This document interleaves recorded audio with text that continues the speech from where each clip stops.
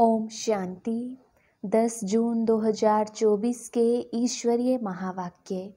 पहले सुनते हैं आज की मुरली से होमवर्क। बाबा ने कहा, लक्ष्य को सदा सामने रखो तो दैवी गुण आते जाएँगी। अब अपनी संभाल करनी है, आसुरी गुणों को निकाल दैवी गुण धारण करनी है। बड़ी आयु के लिए तमो प्रधान से सतो प्रधान बनने की मेहनत करो। अपने से पूछना है, हमारे में कोई अवगुण तो नहीं है। जितना बाप को याद करेंगे, उतना सतो प्रधान बनेंगे और आयु बड़ी होगी, फिर मृत्यु का डर निकल जाएगा। याद से दुख दूर हो जाएँगे। अब वाइसलेस बनने की तुमको युक्ति बताते हैं। इसमें इन विकारों को, अवगुणों को छोड़ देना है। कभी भी विशेष नहीं बनना है। महान आत्मा बनने के लिए अपवित्रता की जो भी गंदी आदतें हैं, वह मिटा देनी है। दुख देना, लड़ना, झगड़ना, यह सब अपवित्र कर्तव्य हैं जो तुम्हें नहीं करनी है। बुद्धि को सब गोरख धंधों से, देहधारियों से निकाल खुशबूदार फूल बनना है। गुप्त कमाई जमा करने के लिए चलते फिरते अशरीरी रहने का अभ्यास करना है। और अब सुनते हैं महावाक्यों को विस्तार से। मुरली का सार, मीठे बच्चे, लक्ष्य को सदा सामने रखो तो दैवी गुण आते जाएँगे। अब अपनी संभाल करनी है, आसुरी गुणों को निकाल दैवी गुण धारण करने हैं। प्रश्न आयुष्मान भव का वरदान मिलते हुए भी बड़ी आयु के लिए कौन सी मेहनत करनी है? उत्तर, बड़ी आयु के लिए तमो प्रधान से सतो प्रधान बनने की मेहनत करो। जितना बाप को याद करेंगे, उतना सतो प्रधान बनेंगे और आयु बड़ी होगी। फिर मृत्यु का डर निकल जाएगा। याद से दुख दूर हो जाएँगे। तुम फूल बन जाएँगे। याद में ही गुप्त कमाई है। याद से पाप कट जाते हैं, आत्मा हल्की हो जाती है, आयु बड़ी हो जाती है। ओम शांति। मीठे मीठे रूहानी बच्चों प्रति बाप समझा रही हैं, पढ़ा भी रही हैं। क्या समझा रही हैं? मीठे बच्चों, तुमको एक तो आयु बड़ी चाहिए क्योंकि तुम्हारी आयु बहुत बड़ी थी। 150 वर्ष की आयु थी बड़ी आयु कैसे मिलती है? तमो प्रधान से, सतो प्रधान बनने से। जब तुम सतो प्रधान थे तो तुम्हारी आयु बहुत बड़ी थी। अभी तुम ऊपर चढ़ रहे हो। जानते हो, हम तमो प्रधान बने तो हमारी आयु छोटी हो गई थी। तंदुरुस्ती भी ठीक नहीं थी। बिल्कुल ही रोगी बन गई थी। यह जीवन पुरानी है, नई से भेंट की जाती है।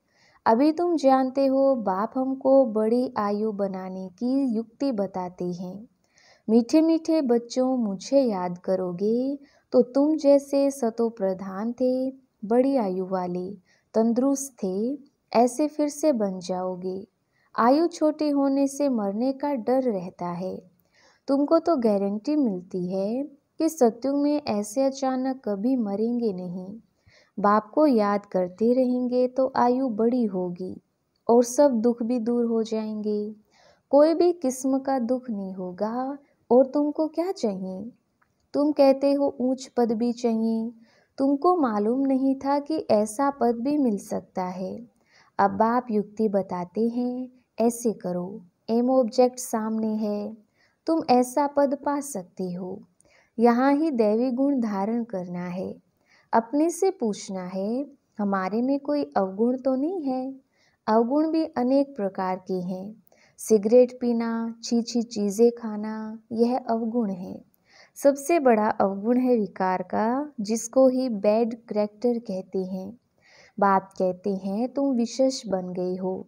अब वाइसलेस बनने की तुमको युक्ति बताते हैं। इसमें इन विकारों को, अवगुणों को छोड़ देना है। कभी भी विशेष नहीं बनना है। इस जन्म में जो सुधारेंगे तो वह सुधार 21 जन्मों तक चलना है। सबसे ज़रूरी बात है वाइसलेस बनना। जन्म जन्मांतर का जो बोझ सिर पर चढ़ा हुआ है, वह योग बल से ही उतरेगा।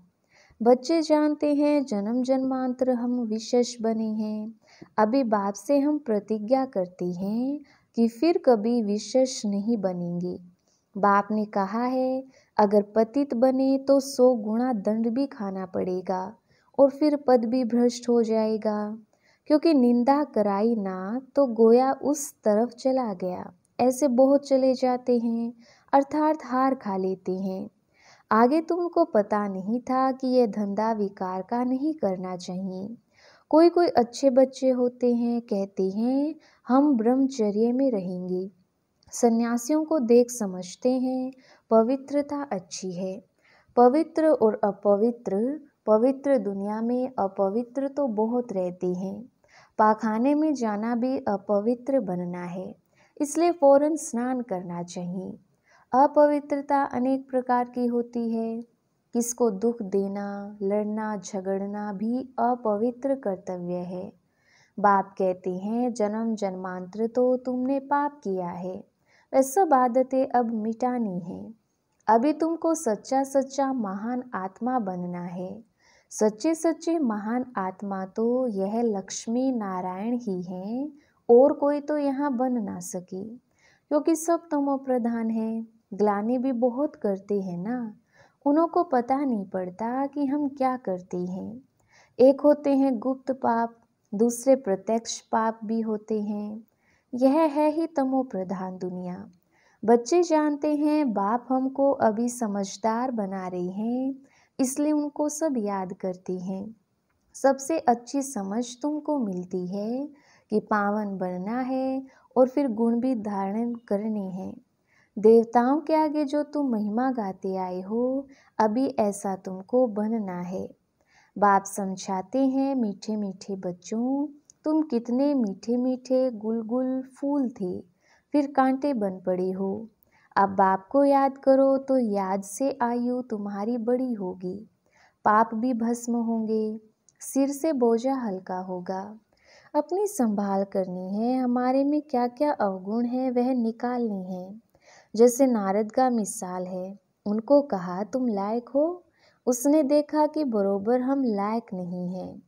बाप तुमको ऊंच बनाते हैं, बाप के तुम बच्चे हो ना। जैसे कोई का बाप महाराजा होता है तो कहेंगे ना, हमारा बाबा महाराजा है। बाबा बहुत सुख देने वाला है। जो अच्छे स्वभाव के महाराजा होते हैं, उनको कभी क्रोध नहीं आता है। अभी तो आहिस्ते आहिस्ते सबकी कलाएँ उतरती गई हैं। सभी अवगुण प्रवेश करते गए हैं। कला कमती होती गई है, तमो होते गई हैं। तमो प्रधान की भी जैसे अंत आकर हुई है, कितना दुखी हो पड़े हैं। तुमको कितना सहन करना पड़ता है। अभी अविनाशी सर्जन द्वारा तुम्हारी दवाई हो रही है। बाप कहते हैं ये पाँच विकार तो घड़ी घड़ी तुमको सताएँगे। तुम जितना पुरुषार्थ करेंगे, बाप को याद करने का उतना माया तुमको नीचे गिराने की कोशिश करती है। तुम्हारी अवस्था ऐसी मज़बूत होनी चाहिए, जो कोई माया का तूफ़ान हिला ना सके। रावण कोई और चीज़ नहीं है व कोई मनुष्य नहीं है। पाँच विकारों रूपी रावण को ही माया कहा जाता है। आसुरी रावण संप्रदाय तुमको पहचानते ही नहीं हैं कि आखिर में यह है कौन? यह बीके क्या समझाते हैं? रियलिटी में कोई नहीं जानते। यह बीके क्यों कहलाते हैं? ब्रह्मा किसकी संतान है? अभी तुम बच्चे जानती हो, हमको वापिस घर जाना है। यह बाप बैठ तुम बच्चों को शिक्षा देते हैं। आयुष्वान भव, धनवान भव। तुम्हारी सब कामनाएँ पूरी करते, वरदान देते हैं। परंतु सिर्फ़ वरदान से कोई काम नहीं होता। मेहनत करनी है। हर एक बात समझने की है। अपने को राज तिलक देने के अधिकारी बनना है। बाप अधिकारी बनाते हैं। तुम बच्चों को शिक्षा देते हैं। ऐसे ऐसे करो। पहले नंबर की शिक्षा देते हैं। मामे कम याद करो। मनुष्य याद नहीं करते हैं क्योंकि वह जानते ही नहीं तो याद भी रोंग है। कहते ईश्वर सर्वव्यापी है। फिर शिव बाबा को याद कैसे करेंगे? शिव के मंदिर में जाकर पूजा करते। तुम पूछो, इनका ऑक्यूपेशन बताओ। तो कहेंगे, भगवान सर्वव्यापी है। पूजा करते हैं, उनसे रहम मांगते हैं। मांगते हुए फिर कोई पूछता, परमात्मा कहाँ है? तो कहते, सर्वव्यापी है। चित्र के सम्मुख क्या करते हैं? और फिर चित्र सम्मुख नहीं तो कला काया ही चट हो जाती है। भक्ति में कितनी भूलें करती हैं। फिर भी भक्ति से कितना प्यार है। श्री कृष्ण के लिए कितना निर्जल आदि करते हैं। यहाँ तुम पढ़ रहे हो और वह भगत लोग क्या क्या करते हैं। तुमको अभी हँसी आती है। ड्रामानुसार भक्ति करते एकदम नीचे उतरते आए हैं। ऊपर तो कोई चढ़ ना सके। अभी यह है पुरुषोत्तम संगम युग, जिसका कोई को पता नहीं है। अभी तुम पुरुषोत्तम बनने के लिए पुरुषार्थ करती हो। टीचर स्टूडेंट का सर्वेंट होता है ना? स्टूडेंट की सर्विस करती हैं। गवर्नमेंट सर्वेंट है। बाप भी कहते हैं, सेवा करता हूँ, तुमको पढ़ाता भी हूँ। सभी आत्माओं का बाप है। टीचर भी बनते हैं। सृष्टि के आदि मध्यांत का ज्ञान भी सुनाते हैं। यह ज्ञान और कोई मनुष्य में हो ना सके। कोई सिखला ना सके। तुम पुरुषार्थ ही करते हो कि हम यह बने। दुनिया में मनुष्य कितने तमो प्रधान बुद्धि हैं, बहुत खौफनाक दुनिया है। जो मनुष्य को नहीं करना चाहिए, वह करते हैं। कितना खून, डाका आदि लगाते हैं, क्या नहीं करते हैं। सौ परसेंट तमो प्रधान है, अभी तुम फिर सौ परसेंट सतो प्रधान बन रही हो। उसके लिए युक्ति बताई है याद की यात्रा। याद से ही विकर्म विनाश होंगे, बाप से जाकर मिलेंगे। भगवान बाप आते कैसे हैं, यह भी तुम अब समझते हो। इस रथ में आई हैं, ब्रह्मा के थ्रू सुनाती हैं। जो फिर तुम धारण कर औरों को सुनाती हो तो दिल होती है डायरेक्ट सुने। बाप के परिवार में जाएँ यहाँ बाप भी है, माँ भी है, बच्चे भी हैं। परिवार में आ जाते हैं। वह तो दुनिया ही आसुरी है। तो आसुरी परिवार से तुम तंग हो जाती हो, इसलिए धंधा आदि छोड़कर बाबा के पास रिफ्रेश होने आती हो। यहाँ रहते भी हैं ब्राह्मण तो इस परिवार में आकर बैठते हो। घर में जाएँगे तो फिर ऐसा परिवार नहीं होगा। वहाँ तो देहधारी हो जाते उस गोरख धंधे से निकल तुम यहाँ आते हो। अब बाप कहते हैं दे के सब संबंध छोड़ो। खुशबूदार फूल बनना है। फूल में खुशबू होती है। सब उठाकर खुशबू लेते हैं।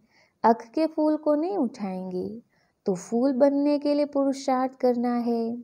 इसलिए बाबा भी फूल ले आते हैं। ऐसा बनना है। घर गृहस्थ में रहते एक बाप को याद करना है।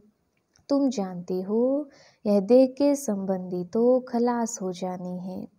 तुम यहाँ गुप्त कमाई कर रहे हो, तुमको शरीर छोड़ना है, कमाई करके और बहुत खुशी से हर्षित मुख हो शरीर छोड़ना है।